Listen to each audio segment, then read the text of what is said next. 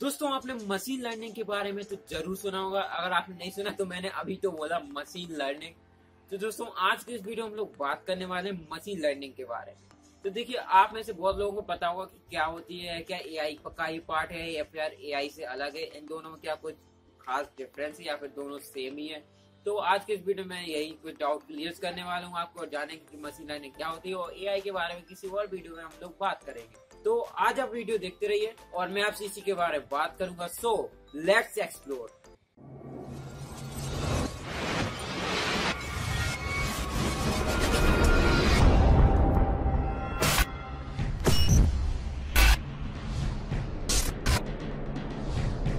तो दोस्तों, ये जो मशीन लर्निंग का फंडा है, यह बहुत ही सिंपल है। अगर हम इसी टेक्नोलॉजी के टर्म में इसकी बात करें तो देखिए मशीन लर्निंग क्या होती है? कोई ऐसा कंप्यूटर सॉफ्टवेयर है, प्रोग्राम बनाया जाए या मशीन बनाई जाए, जो कि कोई स्पेसिफिक टास्क करने के लिए ही बनी हो। अब देखिए, यह जो डेफिनेशन सुन के आपको कुछ समझ में नहीं आएगा, सब आपके ऊपर से गया होगा, कुछ भी इस पल्ले नहीं पड़ा होगा आप तो देखिए, यहाँ पे मैं एक एग्ज़ाम्पल सोचता हूँ और आपको अच्छे से समझाने की कोशिश करता हूँ। अगर आप समझ गए तो सही है, नहीं समझे तो भी सही है। तो देखिए, यहाँ पे हम लोग एक एग्ज़ाम्पल सोचते हैं और मैं अभी, रुकिए, मैं एक एग्ज़ाम्पल सोच के आता हूँ।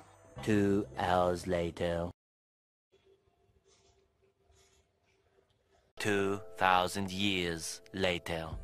तो दोस्तों, अब हम लोग एक एग्ज़ाम्पल समझते हैं कि मशीन लर्निंग होती क्या है तो सपोज़ कीजिए आपने एक ऐसा सॉफ्टवेयर कंप्यूटर प्रोग्राम बनाया जो कि बिल्लियों को पहचानने के लिए है अब आप क्या करेंगे, उस प्रोग्राम को बनाते टाइम आप अलग अलग वेराइटी की उसे बिल्लियाँ दिखाएँगे आपने बहुत सारी बिल्ली दिखा दी कुछ अलग अलग वेराइटीज की, और आपने उसमें सेव कर दी कि यह वेराइटी की है, ये बिल्ली है, बिल्ली बिल्ली बिल्ली और उस मशीन ने भी क्या किया कि उन बिल्लियों को देख के एक पैटर्न ऑब्ज़र्व किया कि बिल्ली का फेस किस तरह का होता है। और आप उसमें बहुत सारी वेराइटीज की बिल्लियाँ दिखाए उसने भी पैटर्न ऑब्ज़र्व करके एक एलोग्रेथ बना ली कि बिल्ली का फेस कैसा होता है और इस तरह से एक बिल्ली को पहचानना है। अब आप फ्यूचर में अगर आप उसे किसी इंसान की फ़ोटो दिखा देते हैं तो वह सोच पड़ जाएगी और वह नहीं समझ पाएगी कि यह कौन है वो, क्योंकि वह बिल्ली को पहचानने के लिए बनाई गई थी, वह मशीन और वह बिल्कुल इंसान को नहीं पहचान पाएगी और वह सोच में पड़ जाएगी, क्योंकि वह एक स्पेसिफिक टास्क करने के लिए बनाई गई थी। तो चलिए अब हम लोग एक और एग्ज़ाम्पल और लेते हैं, जो मशीन लर्निंग का। अब आप सपोज़ कीजिए, आपने एक ऐसी मशीन बनाई जो कि क्रिकेट खेलना जानती है, यानी क्रिकेट के बारे में जानती है कि यह है, कौन सा शॉट है, आपने सारे शॉट्स वगैरह फ़ीड कर दिए।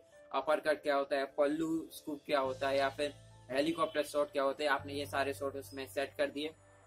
अलग अलग बॉलिंग के तरीके भी सेट कर दिए फास्ट बॉलिंग स्पिन बॉलिंग और सब कुछ।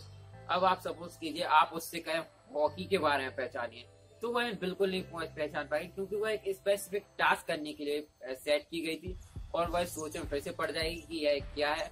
वह बिल्कुल भी ट्राई नहीं करेगी उससे रिलेटेड और आपको स्क्रीन पे एरर वगैरह शो कर देगी। तो यही कुछ मशीन लर्निंग का फंडा है।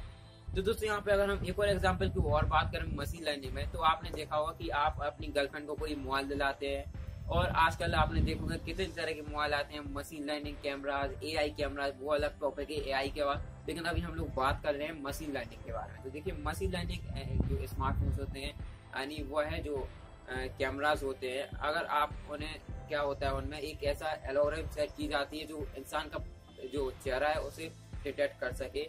ये इंसान यहाँ खड़ा हुआ है। आपने देखा होगा, आप जैसे ही अपने कैमरे के सामने खड़े होते हैं तो आपके, वह आपके कैमरे पे ऑटोमेटिकली फोकस कर लेता है कि वह पहचान जाता है यह इंसान है और यहाँ पे एक ऑब्जेक्ट रखा हुआ है और यह ऑब्जेक्ट है। वह ऑटोमेटिकली पहचान लेता है क्योंकि उसमें, उसे सिखाया गया है कि इंसान किस तरह का दिखता है। उसी अलग अलग फेसेस दिखाए गए होंगे जब वो उसे बनाया गया होगा।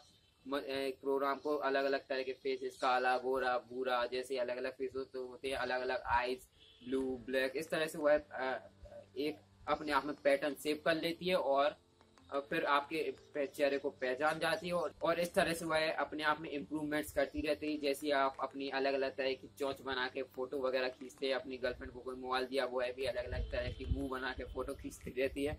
तो इस तरह से वह पहचान लेती है कि यह इंसान है और ऑब्जेक्ट डिफरेंस करने के लिए। तो यही मशीन लर्निंग है। एक और चीज़ की एग्ज़ाम्पल की बात करी जाए जो आजकल आप घरों में देखिए जो लाइट्स वगैरह ऑटोमेटिक टर्न ऑफ़ हो जाती है यह भी एक मशीन लर्निंग का ही फंडा है।